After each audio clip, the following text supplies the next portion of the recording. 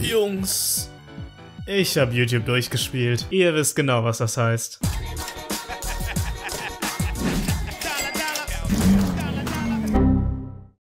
Ah, scheiße.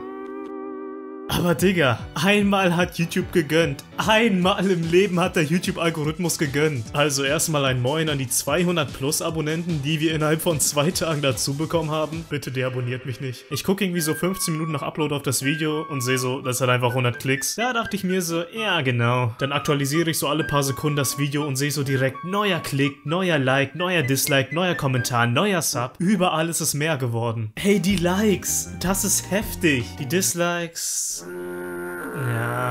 Aber Digga, die Likes. Ich bin dann mal so im Inkognito-Modus auf YouTube gegangen und habe dann so in die YouTube-Suchleiste eingegeben, Apo, und halt das erste Ergebnis ausgewählt, was mit Carina zu tun hatte. Und ich war da einfach Platz 3. Und ich dachte mir dann so, ja, kann vielleicht auch an meinem Gerät, also meinem PC liegen. Aber dann habe ich mir mal das Handy von meinem Dad geschnappt und habe dort genau dasselbe gemacht. Und bei dem war ich dann auch einfach irgendwie Platz 5 oder so. Digga, das ist krass. Und unser Video hat auch einfach mehr als ein Drittel Klicks von Denergys Video, was halt auch witzig ist, wenn man mal unsere Abonnentenanzahl vergleicht. Ich habe halt Real Talk nicht gedacht, dass das Video so durch die Decke gehen wird. Also, dass der YouTube-Algorithmus das so hart pushen wird. Das nächste Ziel sind die Trendskapper. Kommen wir mal zu den Kommentaren, denn die waren größtenteils so geil. Erstmal konnte ich mir die ganzen Dislikes überhaupt nicht erklären, weil sogar irgendwie noch bei 150 oder sogar 200 Dislikes gar kein negativer Kommentar da war. Da dachte ich mir schon so, really? Dann haben aber doch so mit der Zeit einige geschrieben, dass es eventuell an dem Clickbait-Titel liegen könnte. Und ich sage euch, Real Talk, das war der erste Titel, der mir beim Export des Videos eingefallen ist und ich habe mir dabei wirklich nichts gedacht. Ich habe mir nicht gedacht, oh ja, damit wird das Video bestimmt in die Trends kommen, dann wird es ordentlich Para geben. Ich habe lediglich das ganze Thema in meinem Video satirisch aufgegriffen, was man eigentlich anhand der Einblendung gecheckt haben müsste oder spätestens nach der ersten Minute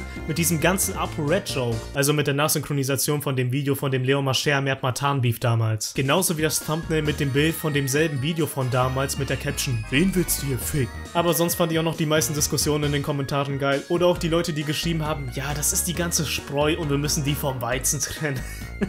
Aber dann gab es noch einige Kommentare, die mich so aufgeregt haben. Oh, ich kann es nicht beschreiben. Da denke ich mir einfach nur so, Alter, wer hat diesen Leuten ins Gehirn geschissen oder ihnen erlaubt, auf YouTube Kommentare zu schreiben? Ohne Witz. Ich habe eigentlich sogar die Funktion, alle Kommentare direkt zu erlauben an. Und dennoch haben es einige geschafft, in die manuelle Überprüfung reingefiltert zu werden. Mein Highlight ist ein Kommentar, beziehungsweise sogar mehrere Kommentare von einem Max Panske, mit dem ich gestern in der Kommentarfunktion diskutiert habe. Ich schwöre, ich werde das jetzt nur einmal machen und solchen Leuten in einem Video nie wieder Aufmerksamkeit geben. Darf ich euch vorstellen? Sein erster Kommentar. Alter, laberst du eine Scheiße und interpretierst alles falsch rein.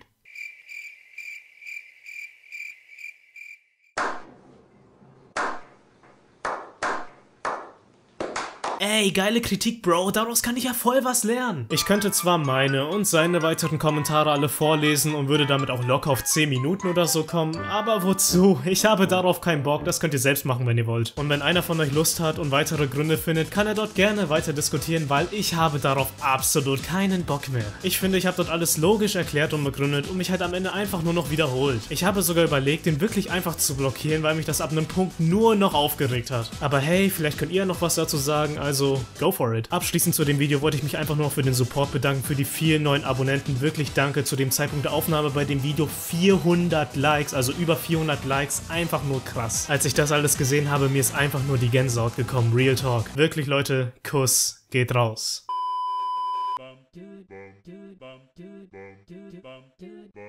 Bum,